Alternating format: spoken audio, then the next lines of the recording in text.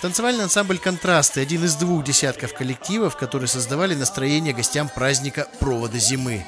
Они работали, сменяя друг друга на нескольких площадках. Программа «Масленицы» традиционная, но каждому гостю нашлось занятие по вкусу. Кто только смотрел, их большинство, но многие сами становились участниками разных забав. К примеру, в самом главном конкурсе «Масленицы» лазанью по столбу за призами. Их было настолько много, что редкий мужчина спортивного сложения не пускался вверх за подарком. У большинства к радости болельщиков получалось. Рядом команды взрослых и детей перетягивали канат, и тоже получалось очень увлекательно.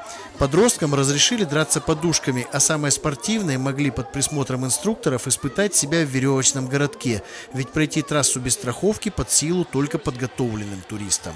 Работает сегодня более 200 человек народу. Ну а на праздник нам по обыкновению приходит где-то больше 6 тысяч горожан и гостей города.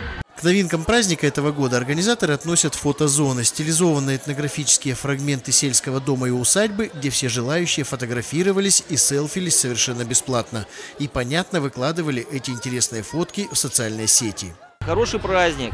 Ребятишкам, вот посмотрите на мою дочку, она счастливая, веселая.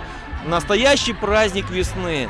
Организаторы праздника отметили, что в этом году на Масленице было как никогда много детей. Возможно, потеплело, возможно, для них разработали интересные игровые программы.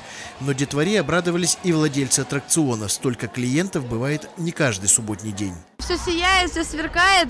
Ну, ждем, когда саму Масленицу, чудесницу подожгут.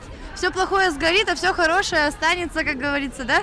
Чучело понравилось. Ну, очень прикольное, смешное достаточно. Мы вот ждем всей семьей, когда его будут сжигать. Ждали долго, а горела соломенная фигура меньше минуты, зато фото с ней появилось на страницах в интернете у многих абаканцев, в том числе и у мэра. Кстати, он на Масленице был инкогнито. Фотографировал сжигание куклы, судя по фото, примерно с того же ракурса, что и наш оператор. И если судить по тексту комментария, подготовка праздника градоначальнику понравилась. Впрочем, как и другим гостям. Хотим пожелать всем, чтобы эта весна принесла только добра, только счастье. Почаще бы такие праздники и с праздником Хакасия. Виктор Лушников, Антон Новожилов, Вести Хакасия.